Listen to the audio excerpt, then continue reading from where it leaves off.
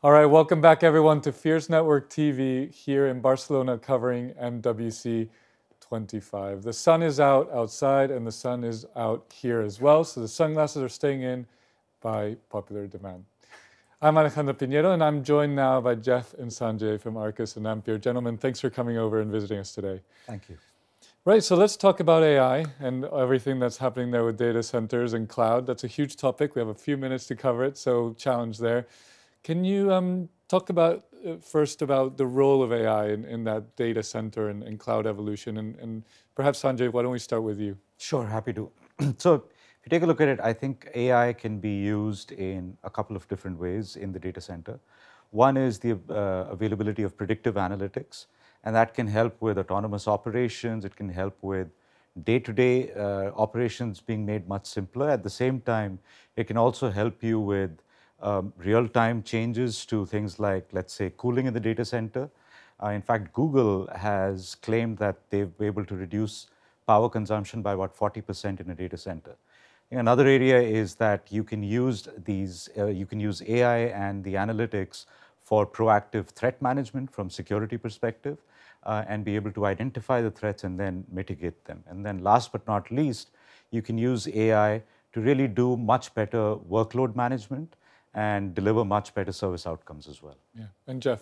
Well, I think those are really good examples. And at Ampere, we've we've seen a lot of people using AI for those types of, uh, of applications in cloud and in, in big data centers. And I think what's really intriguing right now is the fact that those types of AI use cases and, and benefits aren't just for cloud and for data centers, but we're seeing that now showing up in the edge and then pushing out into telco. And so we're seeing really the ubiquity of AI in all of these environments. And, and that's what we've been building at Ampere is some really great, efficient, high performance hardware to go and run those types of AI applications. Awesome.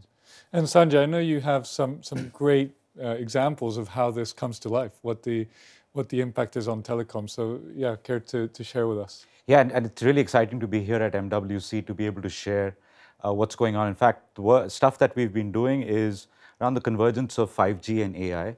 So if you take a look at it, uh, the telcos today have an enormous opportunity uh, with being able to monetize AI. For, for, one, you've got this massive data center build out, and that needs connectivity.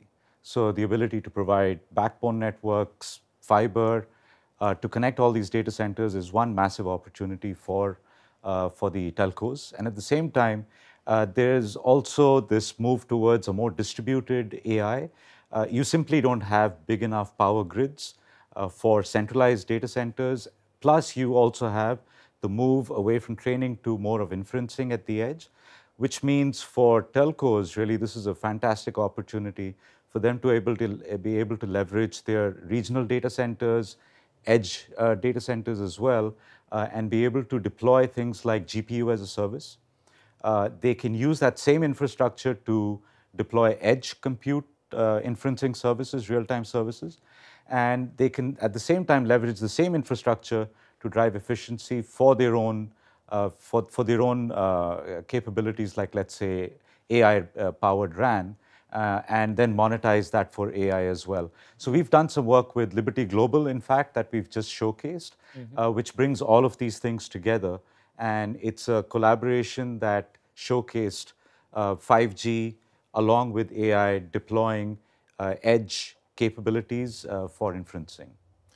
Excellent. And, and Jeff, not necessarily something we'd associate with, with less power consumption, right? So how can AI play a role there? Yeah, that's incredibly important. You know, you mentioned the fact that what we're seeing is a move from AI training to AI inference as those models need to run at scale, and that means that the amount of compute that's going to be required for AI inference is going to go up dramatically over the next couple of years. And that AI inference is going to run everywhere. It's going to run on your devices, it's going to run at the edge, that's yeah. going to run in telco deployments, in clouds, and data centers all over the place. And, and so power is probably the number one uh, constraint to this. Uh, it's our biggest challenge today, both the availability of power on the grid, uh, the amount of power generation capabilities we have. So in order to be able to take advantage of all these advancements in AI, we need to provide more performance but at the same or less power than we've been doing with legacy hardware. So that's what we've really focused on at Ampere is deliver multiple times more AI performance in the same or smaller power envelope. That way, telcos and, and others uh, can take advantage of this uh, without needing to overhaul their entire infrastructure, which in many cases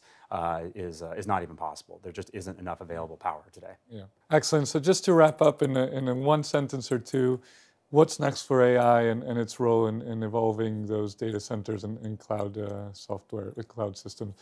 Jeff. Yeah, well, what we're really excited about at Ampere is that uh, increasing deployment of AI within telco, and that's why I'm really excited about the partnerships that we've uh, announced with people like Canonical and SUSE, Synixgy, Fujitsu, Supermicro, you know, all of those ecosystem partners that are required to build an easily deployable platform using Ampere CPUs out in uh, a telco environment.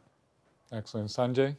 So at Arrcus, what we provide is a networking fabric uh, that connects all of these distributed AI workloads together, whether they're running at the edge, uh, in the core in the data centers, or in the public cloud.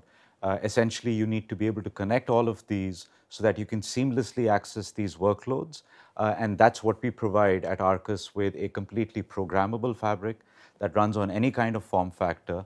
Uh, and that drives much more efficiencies for the customers uh, and then helps them achieve their business objectives. Excellent. Well, listen, gentlemen, thank you so much again for dropping by and taking the challenge of talking about such a complex subject in a short uh, time. Thanks again. Thank you. Thanks.